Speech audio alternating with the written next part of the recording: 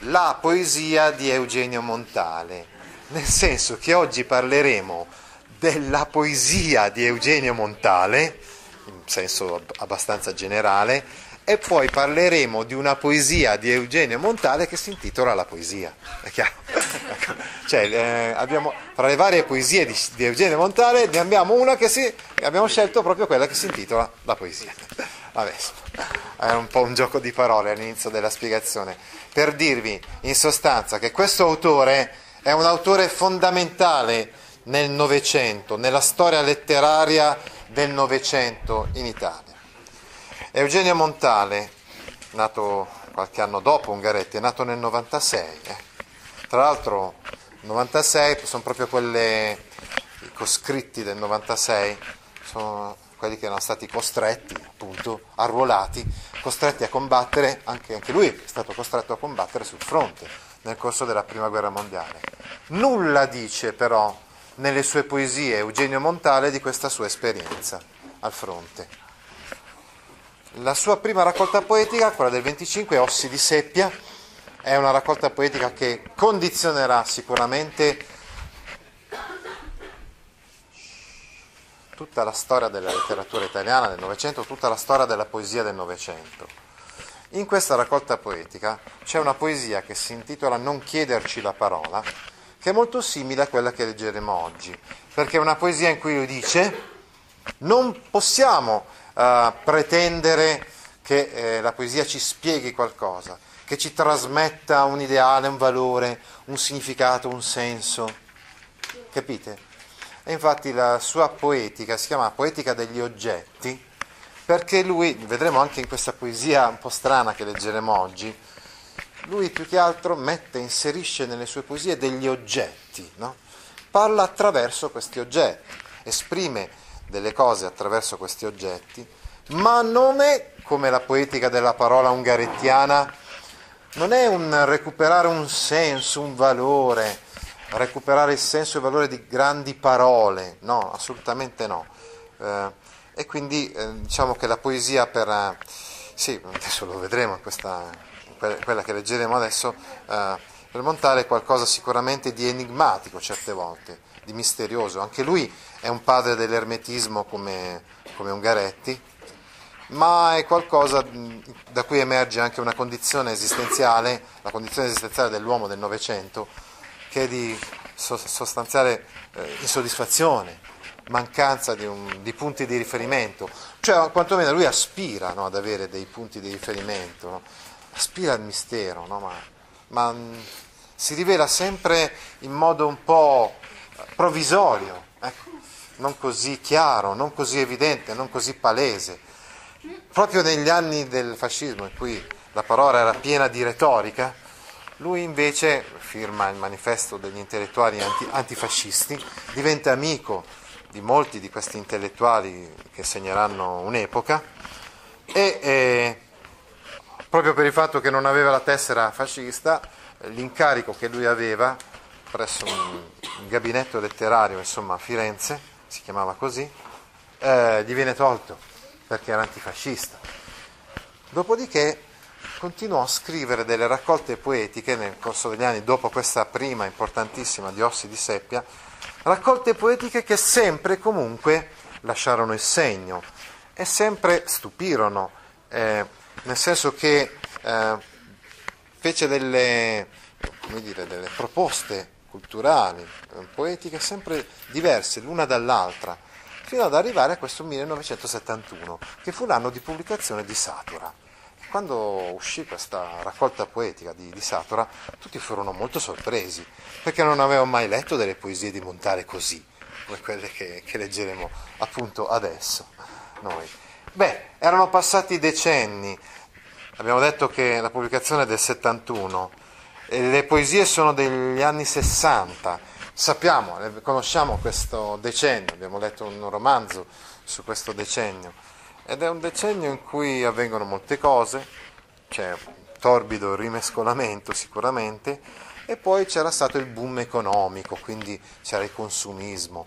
E lui paradossalmente proprio utilizza la satira, appunto l'ironia, la satira, per colpire una società che è quella che sta emergendo in questi anni, che è una società consumistica, utilitaristica. E, e quindi usa uno strumento che è sicuramente nuovo, diverso rispetto, del, rispetto alle sue poesie, poesie del passato. No? Vedremo molto ironico, molto particolare queste poesie, ne leggeremo, ne leggeremo una appunto. Ecco, in un'altra poesia, sempre di questa raccolta, parla della storia. Dice che la storia non è, magistra, non è maestra di vita, come affermavano i latini, Cicerone in genere, no? Anzi, non è magistra di niente che ci riguardi e distrugge quanto più può. Insomma, l'esperienza esistenziale di Eugenio Montale è la seguente. Non è vero che, che il passato ci insegna qualcosa, quanto pare. Non è vero che le cose che accadono servono per uno scopo, per un senso. No? Quindi è molto, mm, come dire, novecentesco perché la gran parte dei poeti del Novecento poi esprimeranno questo stesso disagio esistenziale che esprime lui. Poi in questa raccolta Satura farà anche delle poesie dedicate a sua moglie, Drusilla Tanzi, che sono chiamate Xenia, ecco sì, le poesie di, la sezione di Satura con le poesie dedicate alla moglie, come quella famosa ho sceso milioni di scale dandoti il braccio, no? magari la conoscete, è appunto una poesia di Xenia, che è questa sezione di Satura. Ma noi oggi leggeremo la poesia La poesia. Leggeremo la poesia intitolata La poesia, che si trova alla pagina 193. Vediamo che cosa ci dice sulla poesia con questa poesia. Ci dice L'angosciante questione se sia a freddo o a caldo l'ispirazione non appartiene alla scienza termica. Ecco, si diceva, è molto ironico, molto strano, molto divertito anche. Eh, fa dei giochi di parole Montale in questa raccolta e dice l'angosciante questione, ma attenzione, dobbiamo intendere angosciante in senso ironico, perché in realtà per lui non è angosciante per niente. Cioè ci sono ci sono dei critici che eh, si arrovellano, discutono, polemizzano riguardo alla poesia. Ci sono delle tesi contrapposte. Ci sono delle tesi contrapposte sulla poesia. In particolar modo c'è la tesi romantica. In base alla tesi romantica, ecco, il poeta deve lasciarsi andare all'istinto, la poesia è qualcosa di intuitivo, per cui uno deve scrivere di getto quello che eh, diviene appunto grazie a questa ispirazione momentanea. Mentre invece i razionalisti, la tesi razionalista, razionalistica insomma, eh, sulla poesia è quella secondo la quale la poesia è il frutto di un lavoro di lima, labor lime, dicevano i romani, i latini, molto molto diciamo complesso, per cui anche una poesia può sembrare apparentemente qualcosa di semplice, di immediato, ma in realtà deve essere il frutto di un lavoro molto, molto preciso, molto, molto complesso. Ebbene, per lui comunque la questione è ridicola questa questione, se sia a freddo o a caldo l'ispirazione, cioè se l'ispirazione poetica sia qualcosa di freddo, quindi di razionale, secondo, in base alla tesi razionalistica, no? Oppure qualcosa di caldo che ha a che vedere con i sentimenti, con il cuore, con la passione del, del singolo. Non appartiene alla scienza termica, ulteriore battuta, no? Sapete che la scienza termica infatti è quella branca della fisica che si occupa del caldo e del freddo, no?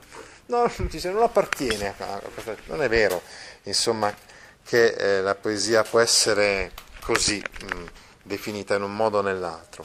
Il raptus non produce, quindi non è vero, come dicono i romantici, che la poesia è frutto di un raptus, di qualcosa di improvviso. Ma attenzione, si badi bene che gioca ancora una volta sulla, eh, sui termini scientifici, perché anche raptus è un termine scientifico eh, che è usato in campo psicologico dagli psicologi. Il vuoto non conduce, qua fa riferimento invece alle tesi della fisica, perché nella fisica eh, il vuoto indica lo spazio senza materia. No? Il raptus non produce, il vuoto non conduce, è ancora una volta la, la riproposizione del tema che ha, già, che ha, già, espresso prima. Cioè, non è vero quindi che, che la poesia è, come la pensano i romantici, ma non è vero neanche che è come la pensano i razionalisti scientifici. Non c'è poesia al sorbetto o al girarrosto altra cosa ironica, no? cioè la, la, poesia non è fredda come è freddo un sorbetto, appunto basata sulla ragione, ma non è neanche al girarrosto, non è quindi neanche calda, quindi basata sul calore del sentimento. Si tratterà piuttosto di parole molto importune. Le parole poetiche sono importune. E qua sicuramente facciamo riferimento a quello che dicevamo prima, cioè nella società occidentale la poesia non ha più un posto. Se prima in altre società il poeta aveva un ruolo importante, era un vate, quindi una persona autorevole, adesso invece è importuna la poesia, no? è fuori luogo, è fuori posto, è inadatta alla società moderna, sembra anche qualcosa di anacronistico, qualcosa quasi di vecchio, comunque di cioè non al passo coi tempi. Si tratterà piuttosto di parole molto importune che hanno fretta di uscire dal forno o dal surgelante. Ecco, dicevamo che queste poesie sono state scritte negli anni 60. Negli anni 60 c'era il boom e quindi eh, per esempio la gente incomincia a conoscere, a utilizzare, a comprare gli elettrodomestici tra cui per esempio il forno e il surgelante. Ancora una volta però continua con il gioco del freddo e del caldo. Il forno per il caldo, ovviamente, quindi anima e cuore, no? come se la poesia fosse anima e cuore, e il surgelante, quindi il surgelatore, il freezer, eccetera, sul freddo. Quindi il surgelante potrebbe essere un simbolo, ricordate la poetica degli oggetti di cui abbiamo parlato prima, no? Questi oggetti potrebbero essere un simbolo il forno dell'anima, del cuore, della passione, mentre il surgelante della mente fredda. Il fatto non è importante, dice con una rima interna. A proposito, dobbiamo tenere presente che la poesia è fatta di versi liberi, non c'è uno schema metrico eh, preciso, ma ogni tanto ci sono delle rime. Diciamo, gioca con le parole, gioca col lessico, gioca con i suoni anche, Montale, sicuramente e ogni tanto ci mette delle rime, ma non secondo uno schema fisso. Appena fuori si guardano d'attorno e hanno l'aria di dirsi: Che sto a farci? Le parole del poeta. Guardate, provate a pensare che differenza rispetto a Ungaretti. Ungaretti diceva in questa situazione ho scritto lettere piene d'amore, non sono mai stato tanto attaccato alla vita, eccetera, e dà un grande valore alla parola. Invece per montare le parole appena fuori, no, appena insomma il poeta le, le tira fuori, no? si guardano d'attorno e hanno l'aria di dirsi che sto a farci. Insomma non c'è posto davvero per la poesia nella società di oggi. Seconda strofa. Con orrore la poesia rifiuta le glosse degli scoliasti, cioè la poesia rifiuta le note dei critici. Ecco, come vedete ci sono anche certe volte delle parole un po' strane nelle poesie di Montale. Sta comunque starebbe a dire questo, in sostanza, che sì, possiamo metterci noi a interpretare le poesie, possiamo fare critica letteraria, eccetera, ma sta di fatto che eh, il più delle volte insomma tutte queste glosse, cioè queste, tutti questi commenti non riescono, cioè riducono più che altro la poesia. E infatti le interpretazioni dei commentatori non servono a nulla. Ma non è certo che la troppo muta basti a se stessa o al trovarobe che in lei è inciampato senza sapere di esserne l'autore.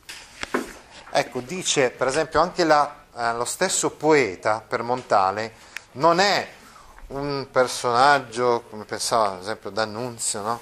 che si erge dalla massa, eccetera, ma è paragonabile a un trovarobe, cioè a uno che lavora per il teatro e che deve cercare so, vesti, vestiti, oggetti da mettere sulla scena.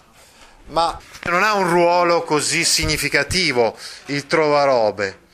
Infatti, questo trovarobe che è l'autore, quindi che è il poeta, non fa altro che raccattare qualche parola di qua e di là, ecco dicevamo quindi anche non solo ironia sugli altri, ma anche auto, autoironia sul, sull'essere stesso del poeta, sull'agire stesso del poeta, non fa altro, diciamo, che raccattarle e metterle insieme, ma queste parole sono senza significato, senza senso. Malgrado ciò, dobbiamo dire una cosa, che poi nel 1975 Eugenio Montale ha ricevuto il premio Nobel per la letteratura e prima era stato anche nominato senatore a vita e quando ha ricevuto il premio a Stoccolma ha detto queste cose riguardo alla poesia. Avevo pensato di dare al mio breve discorso questo titolo. Potrà sopravvivere la poesia nell'universo delle comunicazioni di massa? Siamo nel 75, pochi anni prima anche di morire, poi nell'81 morirà Montale. No? Ma dice, ha ancora senso, insomma, fare poesia? È ciò che molti si chiedono, ma a ben riflettere la risposta non può essere che affermativa.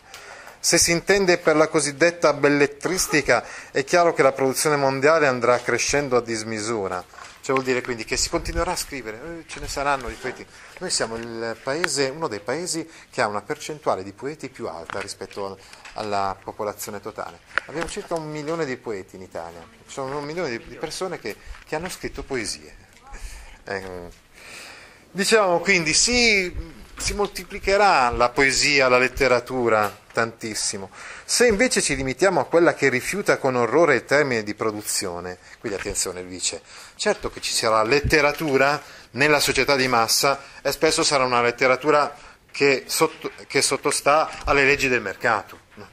Però c'è anche una letteratura che mm, dire, si contrappone a queste leggi consumistiche se invece ci limitiamo a quella che rifiuta con orrore il termine di produzione, quella che sorge quasi per miracolo e sembra imbalsamare tutta un'epoca e tutta una situazione linguistica e culturale, allora bisogna dire che non c'è morte possibile per la poesia, perché c'è spazio comunque per una letteratura, per una cultura che denunci il degrado.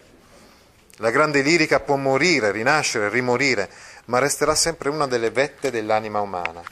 Quindi come dire, lui dice, ci sarà sempre comunque qualcuno che è consapevole, che è cosciente di una certa situazione e che quindi la metterà per iscritto, insomma, che la denuncerà anche attraverso la poesia. Ti interessano file di questo genere? Allora vieni su www.gaudio.org e iscriviti alla newsletter A Scuola con Gaudio all'indirizzo www.gaudio.org/news.